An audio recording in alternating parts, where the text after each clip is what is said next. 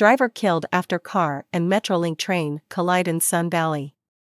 The crash occurred near Coldwater Canyon Avenue and Raymer Street and left the vehicle mangled between two tracks.